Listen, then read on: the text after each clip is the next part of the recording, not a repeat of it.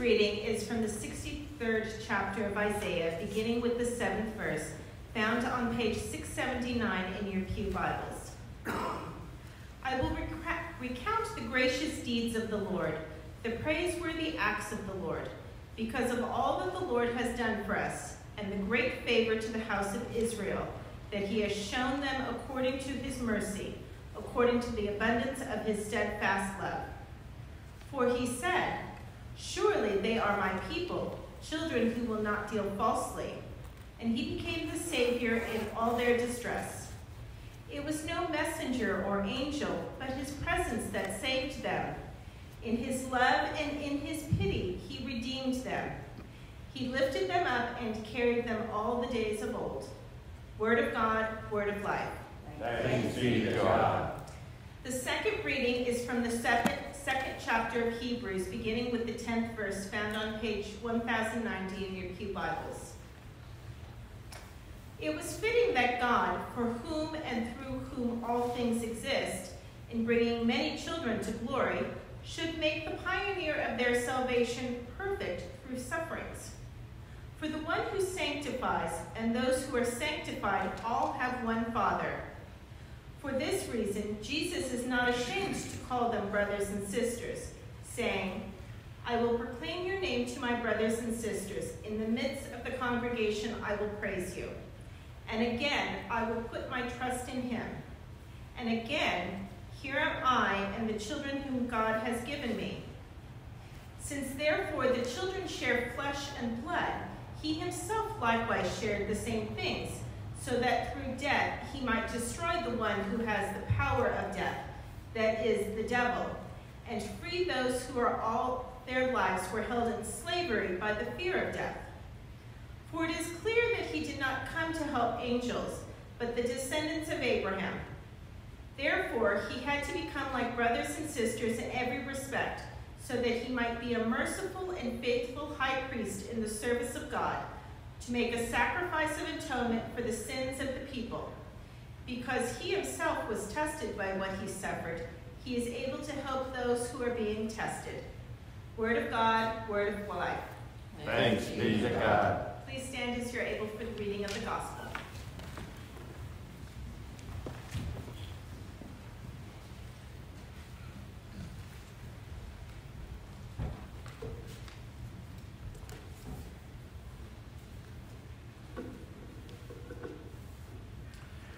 Holy Gospel assigned for this Sunday is a reading from the Gospel according to St. Matthew.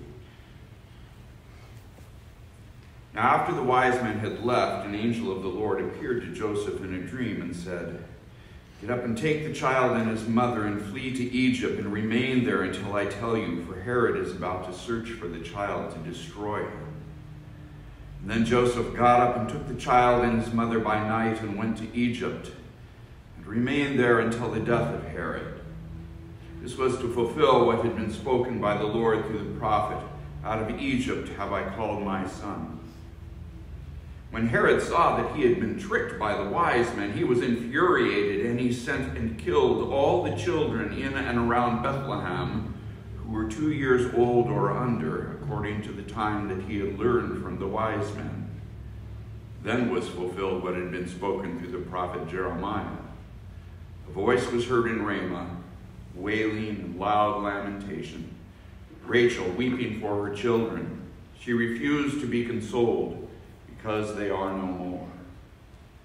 When Herod died, an angel of the Lord suddenly appeared in a dream to Joseph in Egypt and said, Get up, take the child and his mother, and go to the land of Israel, for those who were seeking the child's life are dead.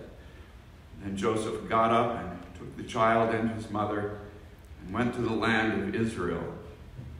And when he heard that Archelaus was ruling over Judea in place of his father Herod, he was afraid to go there. And after being warned in a dream, he went away to the district of Galilee. There he made his home in a town called Nazareth, so that what had been spoken through the prophets might be fulfilled. He will be called a Nazarene. This is the gospel of the Lord. Praise, Praise to you, O Christ. Please be seated.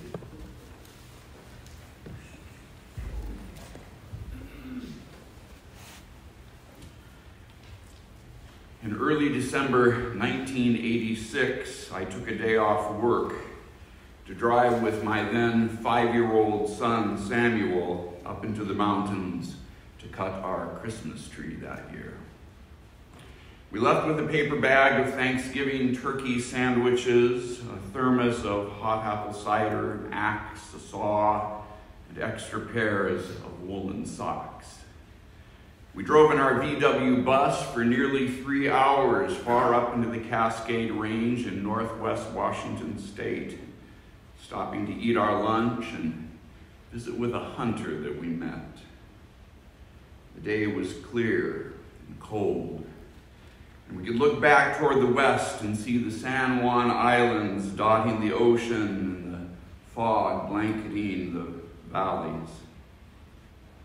Finally, we came to a rise that I could not, in the four inches of snow, coax the old bus up. We put on gloves and coats and stepped out into the cold, crunching snow. Now, my son Samuel, he loved to be outside.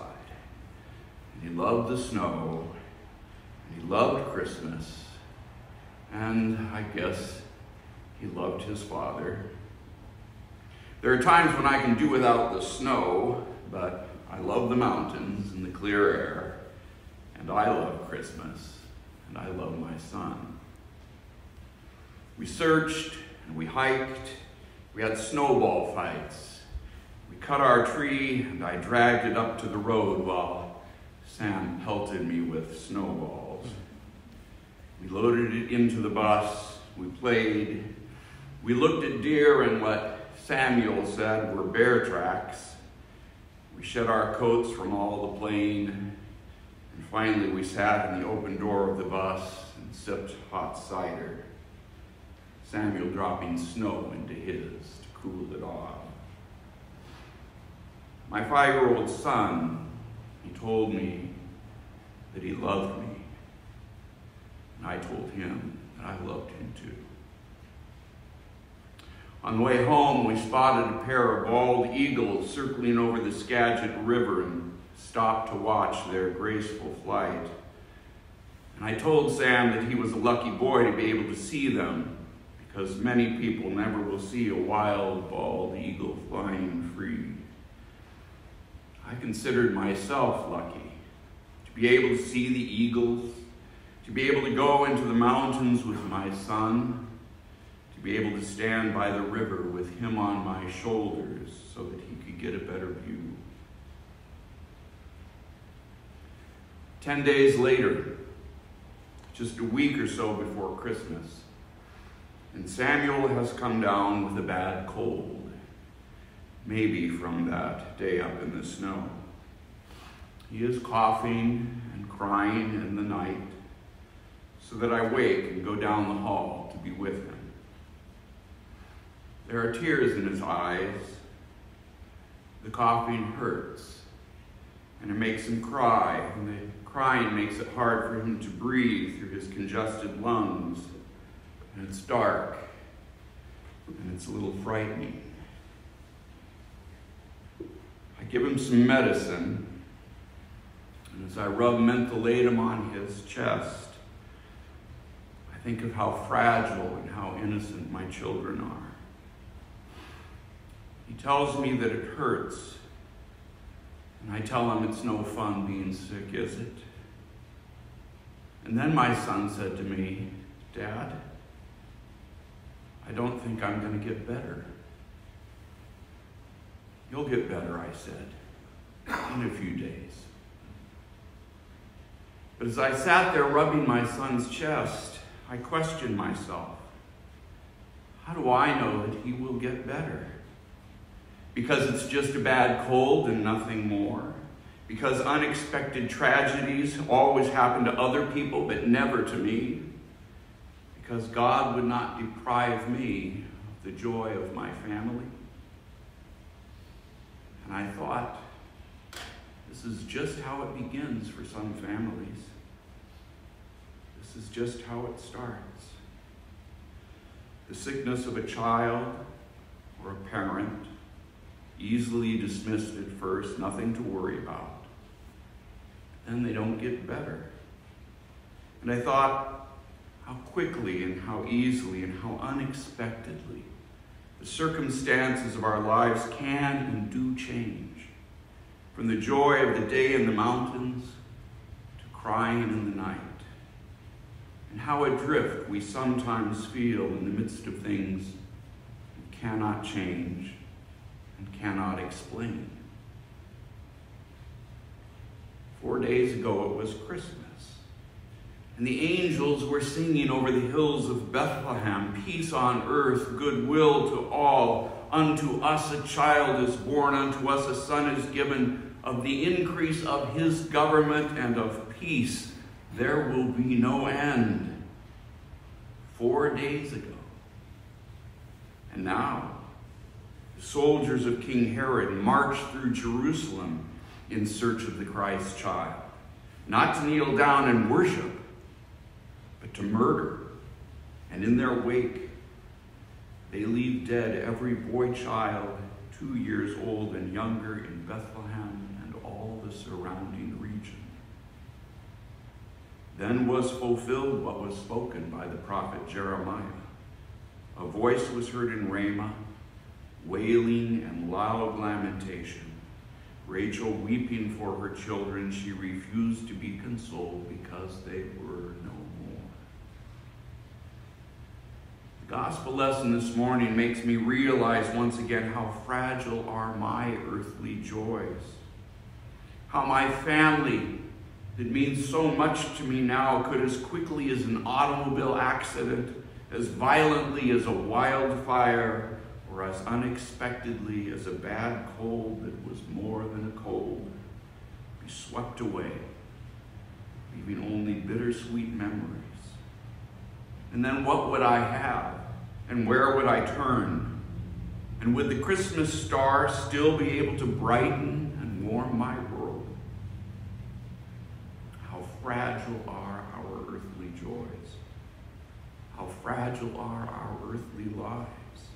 So easily carried to and fro by the chances of fate, by the Herods of this world and the Herods within each of us.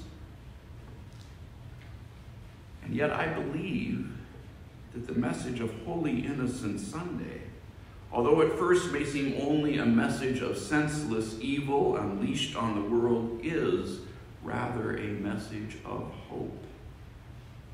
And the hope is this that the evil that Herod intended did not prevent the good that God was bound to do. The hope is in the fact that the Christ child escaped, that God's purpose was not foiled and it cannot be foiled. The hope of Holy Innocents Sunday is that God had a plan for God's Son, that God had a will for God's Son, and nothing on earth or in heaven, not any Herod, not Satan himself, will prevent God and his will from taking place the hope of this Sunday is that the destiny of Jesus Christ was preserved by the power of God. It was not God's will that every boy child in Bethlehem be murdered on account of Jesus. That happened only because of the evil and the sin of a fallen human being. God's will was rather that Jesus grow and learn and gain in wisdom, as Luke says, and be baptized by his cousin John in the Jordan River, and preach and teach and heal and minister and raise the dead. And finally, when the time was accomplished, when God said it was time to die, a criminal's death, and to rise again, securing our salvation completing the will of God. How quickly our human circumstances can change. How quickly and unexpectedly, sometimes for the better, sometimes in tragedy, our fortunes ebb and flow. We may feel like we are just cast adrift in life to be taken wherever the tides of fate go. But the gospel this morning tells us we have an anchor, and he is Jesus Christ, the child God was bound to save, the child bound to save us.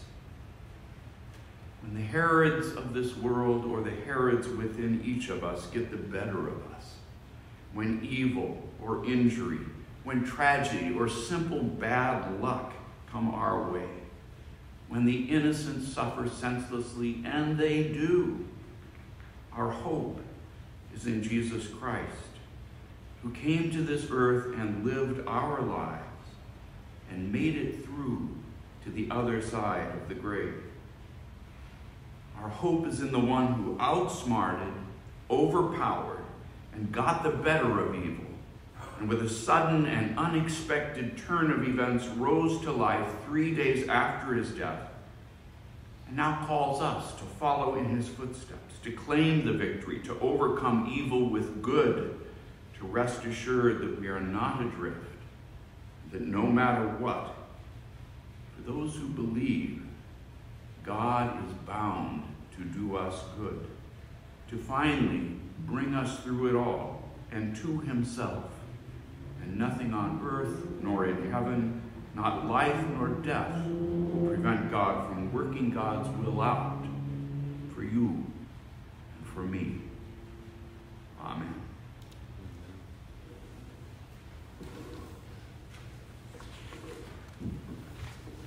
continue with the hymn of the day. I invite you to stand as you are able.